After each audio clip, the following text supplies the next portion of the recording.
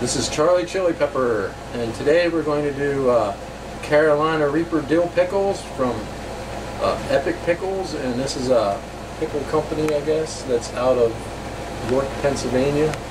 So we're going to try Carolina Reaper Dills, and we're going to let you know how they are. Alright, this is Charlie Chilipepper, and I'm back with Brian, Mikey, Kyle, and we have the Epic Pickles, Carolina Reaper Dill Pickles. So, These things have been sitting in my refrigerator for like a month.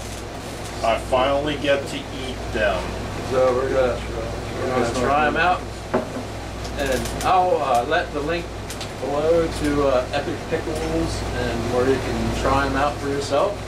And uh, when we opened the jar, there was a whole Carolina Reaper sitting on top, cut up. Cool flavors. So we're gonna let that Reaper baste. Yep, we shoved it in the jar. Once that's empty, that'll be another thing that we eat.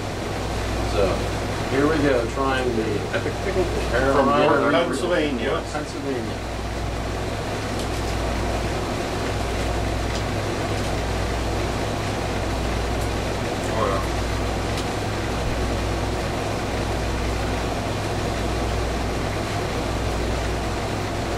It has a pretty good kick to it. It has a good Reaper kick to it. Not super hot. but definitely once we get around to building the uh, cheeseburger, Mm-hmm. this will be a definite topper. Yep. So check out Epic Pickles. This is beyond, this is the spiciest pickle I ever had. I think it actually has a good combination of the dill flavor, I'm not gonna eat a couple. and he, I think we can probably eat the whole jar right now. Nope. They're hot today. It's not overpowering, No. but you can definitely good. taste the Reaper. I don't know, if you ate a couple of them, they probably, probably I would definitely recommend starting to feel it now. now. checking them out. Yep.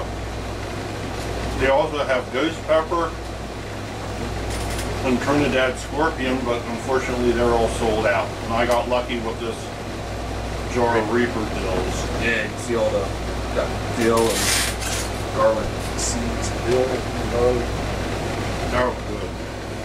Wow. Yeah, dude, they were, That they were good. Yeah, they were, yep.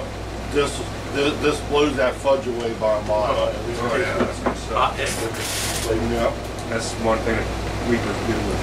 Yeah, we do gotta do the hamburgers with this. Just revisit it with the hamburgers and too.